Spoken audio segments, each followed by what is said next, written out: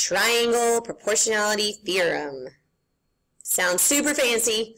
It's a pretty common sense theorem that you're going to like. It's one of those like shortcut theorems where you don't have to necessarily use it all the time, but if you remember to use it, it saves you time. It helps you be more efficient so you don't run out of time during quizzes and stuff. So, triangle proportionality theorem. TPT.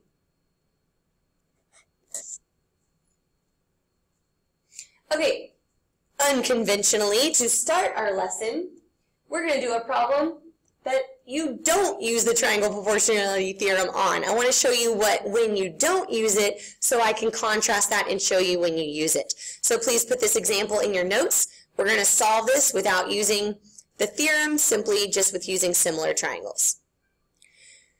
Do be aware that in this unit, as we're solving all of these, it is easy to take for granted that the triangles are similar.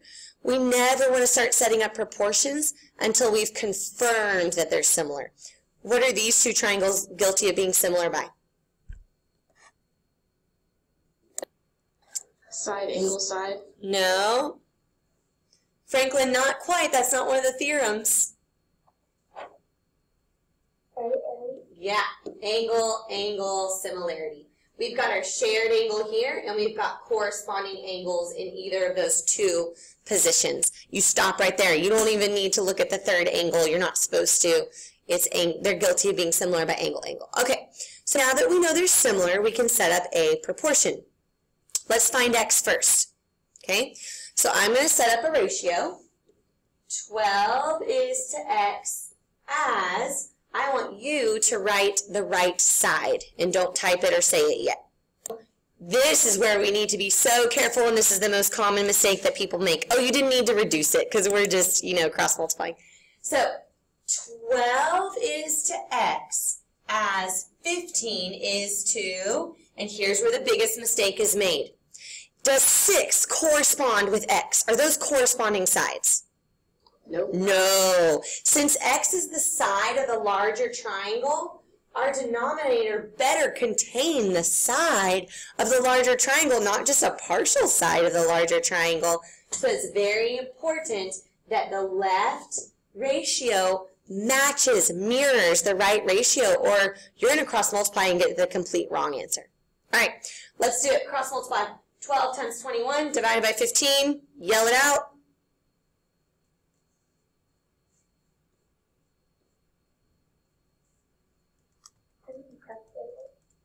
16.8. Okay.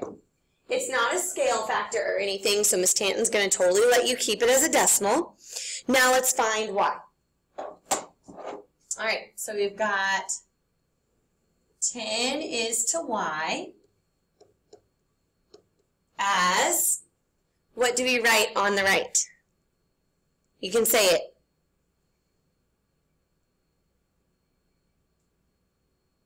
Nobody? Um, yeah, you use that same exact proportion again. Very good. 10 and 15 are corresponding. Those are good. And then y is the entire side of the big triangle. So I need the entire side again. Good, you reuse it. You use it twice. So cross multiply and divide.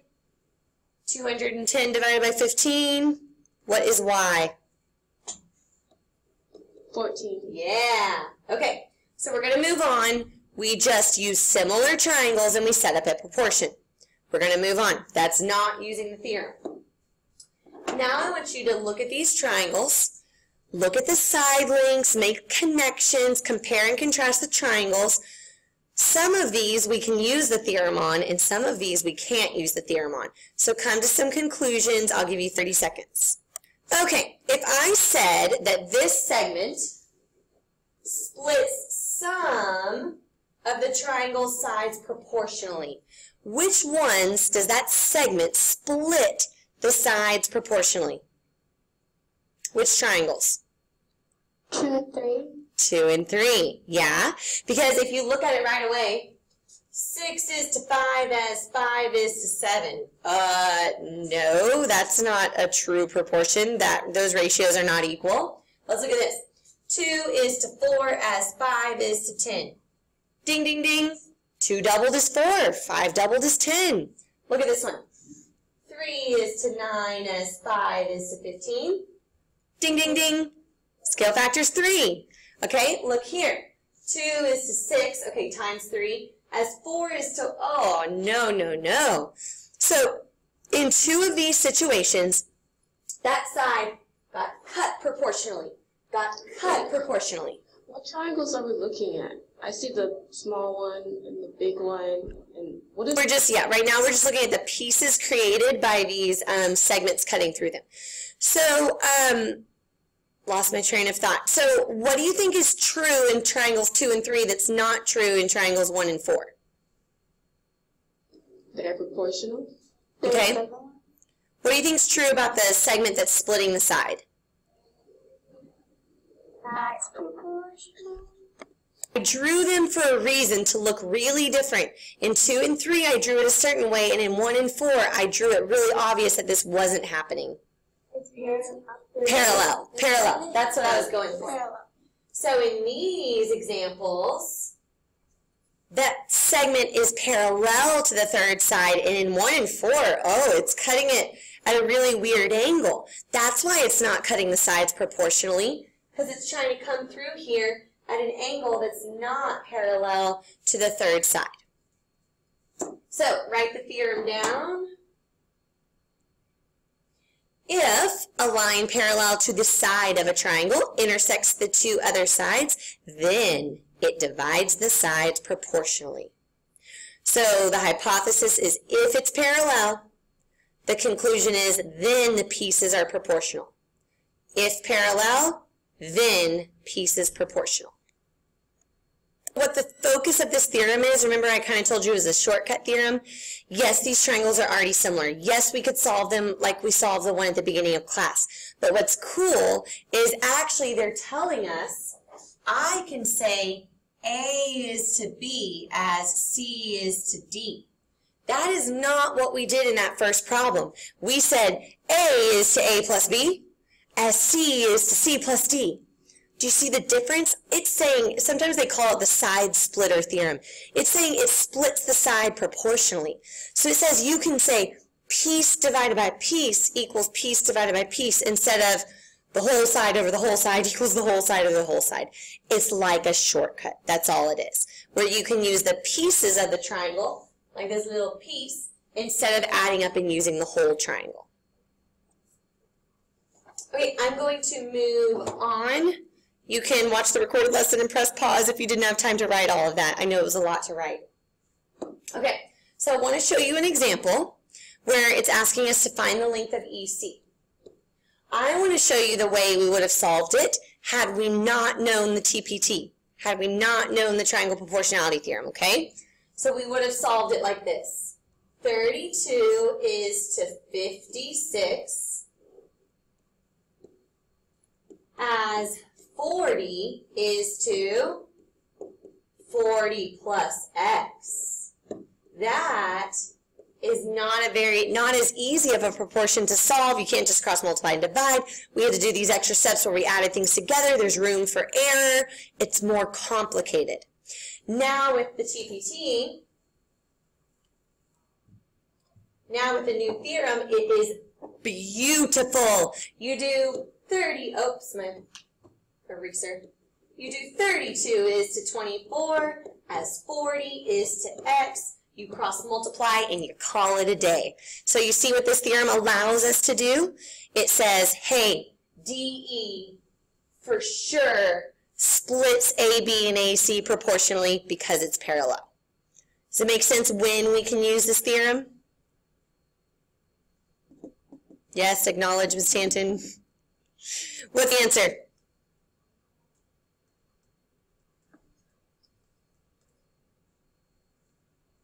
Okay.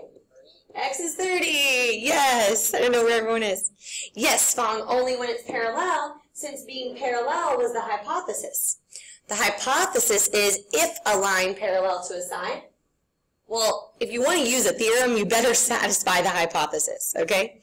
Now, what's cool about this theorem, I mean, honestly, it's true about most theorems, but anyways, what's cool about this theorem is that the converse works as well. Do not write this down, but what the converse says is that if the sides, the pieces, not the sides, if the pieces are proportional, then those segments are parallel. So if proportional, then parallel. It's the converse of the TPT. So we can use that in a problem like this. Verify, that means mathematically show that it's true, that MN is parallel to KL. So what we would do is we would show, okay, enough with the annotations. We would show 42 is to 21 as 30 is to 15. There's a lot of ways to show that's true. You can reduce both sides. Oh, 2 equals 2. Yay. Or you can cross multiply. Verify just means mathematically show that it's true. Now that I know that the pieces are proportional, now I can add arrows showing that they are parallel. All right, so it's always good to try out what we learned on the coordinate plane as well. Does the triangle proportionality theorem apply to this triangle? How can we determine if we're allowed to use the theorem here?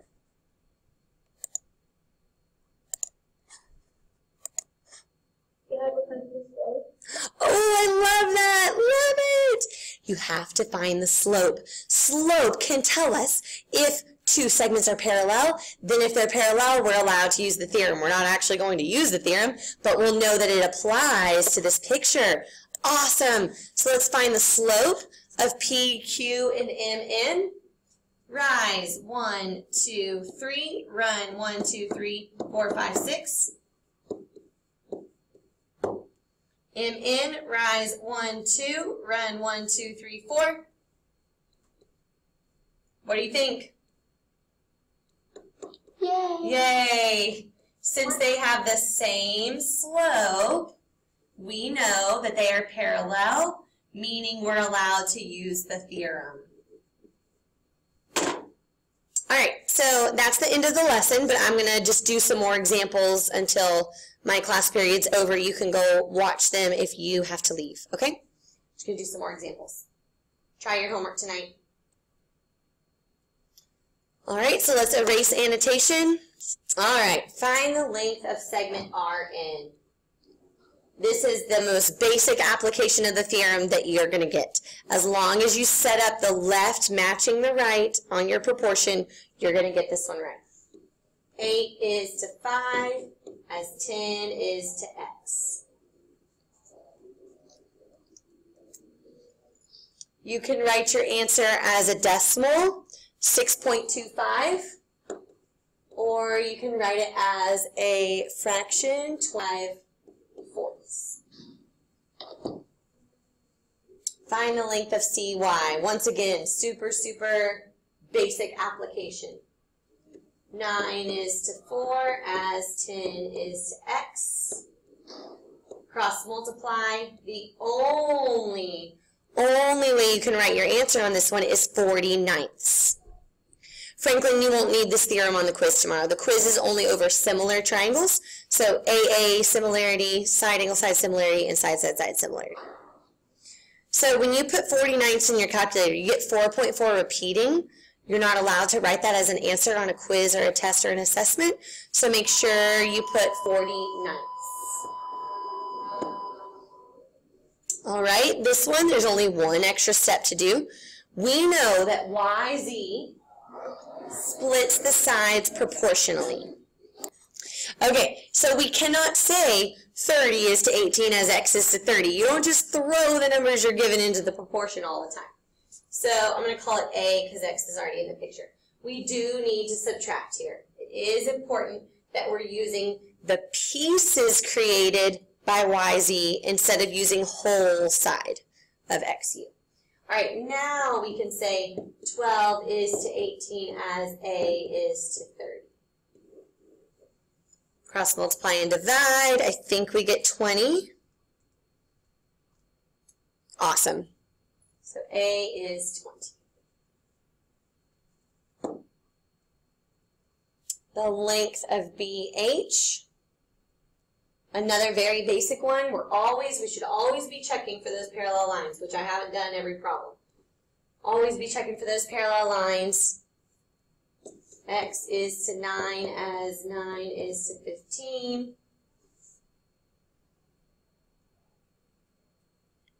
Okay. 5.4 or 27 fifths, either one of those will work.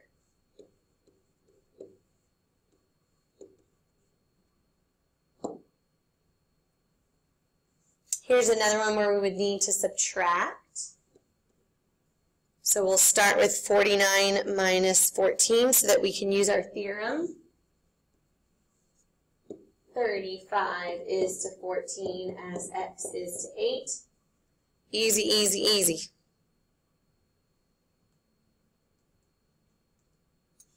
Twenty again.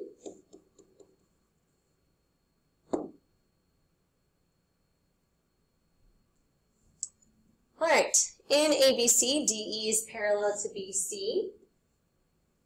AC is 30. DE is 12. And BC is 20. Find AE. Will we be using the TPT in problem 5? Will we be using the TPT? Evidence here.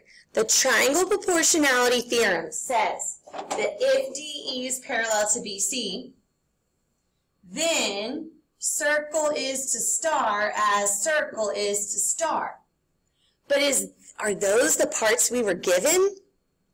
It doesn't say anything about DE and BC. It says stuff about AD and DB. You get what I'm saying? It splits the sides in half. So we have to be careful. When we're given 12 and 20, we are not using the triangle proportionality theorem. So instead, we have to go back to solving this like the olden days, like the old times. So we could say 12 is to 20. So that's the whole bottom of the small one and the whole bottom of the large one. Small over, we'll do large, equals, we need the whole side of the small one, and we need the whole, they gave it to us, thank goodness, but we needed the whole side of the large one. That is not using the triangle proportionality theorem. I'm not saying this problem is any harder than the other ones, but be careful because we're using wholes and no longer those pieces like E, C, and DB. So we just need to be aware and careful. All right, so that one, X is 18. Last problem. On the map, First Street and Second Street are parallel. Love some good old real-world applications. What is the distance from City Hall to 2nd Street along Cedar Road? So if you're still logged in, I want you to try this one and private chat me. All right, so this one we can use the triangle proportionality theorem. 2.1 is to 2.8 as x is to 2.4. The only caveat here is that when you find x, that is not the answer to the problem. So let's go ahead and find x.